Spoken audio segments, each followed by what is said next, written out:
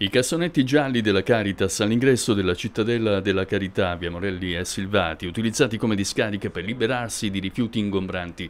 Anche la notte, avverte il direttore della Caritas Carlo Mele, c'è chi con l'alibi di fare beneficenza sversa materassi e scarti di mobili davanti ai contenitori destinati a raccogliere indumenti per i poveri. Un atteggiamento inqualificabile, avverte Mele. La beneficenza non diventi un alibi per sversare immondizia sui luoghi di solidarietà è diventata purtroppo veramente una discarica, ma la cosa in, che è incomprensibile è che la gente pensa di fare beneficenza e la beneficenza si dà dando il meglio di quello che si possiede, non quello che, di cui bisogna disfarsi.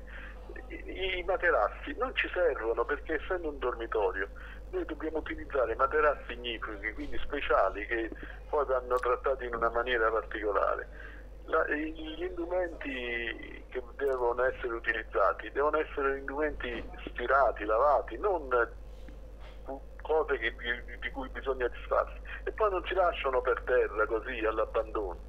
La, la, zona è videosorvegliata ma la gente cioè, viene di notte e allora lo fa con cattiveria. Cioè, non bisogna considerare quel posto una discarica già umana, una discarica eh, di, di, tutto quello che la società poi, eh, il benessere vuole, di, di cui si vuole liberare bisogna avere un'attenzione sia in modo particolare per le persone e se si ha veramente un'attenzione per le persone chiaramente ci si comporta di conseguenza, si dà quello che effettivamente di cui c'è bisogno e possibilmente il meglio di quello che si ha.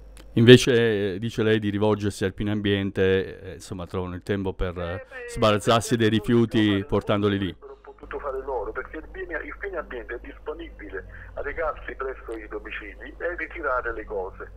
Noi cioè, dobbiamo fare il lavoro di adesso stanno 5 materassi là, quindi sono venute 5 persone che di notte certamente e hanno buttato questo materasso là per terra.